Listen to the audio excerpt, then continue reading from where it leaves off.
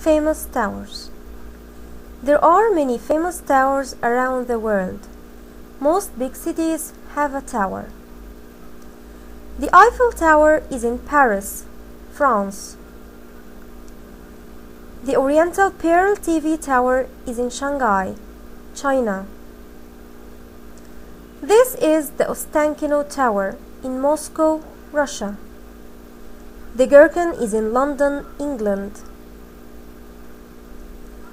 Tall towers and buildings are not new. This is the Great Lighthouse of Alexandria. The Egyptians built it more than 2000 years ago. The lighthouse was on an island near Alexandria. It was important because the island was dangerous for ships. The lighthouse was a very tall building. It was 117 meters tall. There are now lighthouses all over the world. The Great Lighthouse of Alexandria was the first. The lighthouse was as tall as a new building with 40 floors.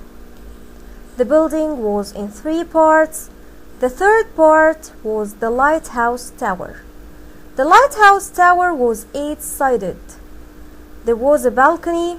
The views were fantastic. There were many visitors to the lighthouse. There was a place to eat on the first level. There was a mirror at the top of the tower.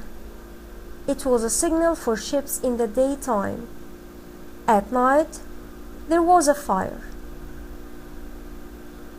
The lighthouse was very famous. It was on Roman coins.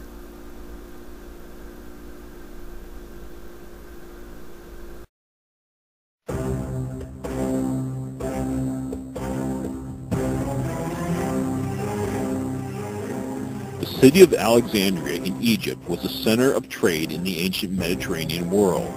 Its most recognizable landmark was the Great Pharos Lighthouse built to guide ships safely into the city's bay. At the top, a fire provided a beacon of light at night and a column of smoke during the day, visible to ships many miles at sea.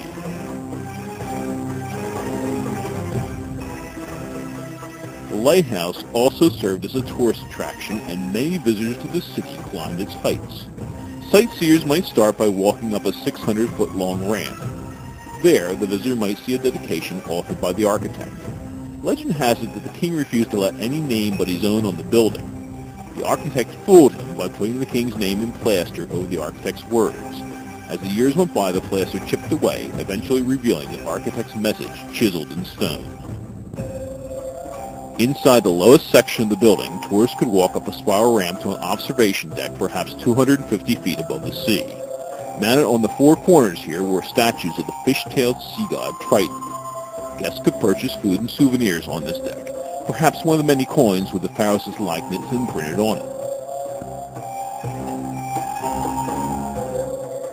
Tourists that wished to climb the next section took stairs up an eight-sided tower to a smaller observation deck. With a height of more than 300 feet, visitors had a wonderful view of the city. Undoubtedly they could see the famous Library of Alexandria, an ancient center for learning. It is thought that the library was the largest in the world at the time, with hundreds of thousands of books in the form of scrolls.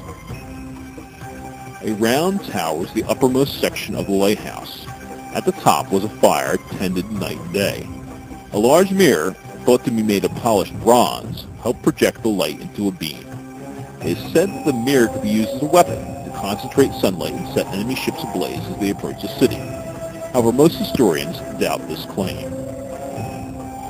At the very top of the lighthouse, at a height of over 400 feet, was a statue of the god of the sea, Poseidon. Until it was destroyed by an earthquake in the 14th century, the Pharos was the pride of Alexandria. For almost 1,500 years, it was a comforting sight for sailors, leading them to the safety of the harbor, even on the darkest nights. Thank you.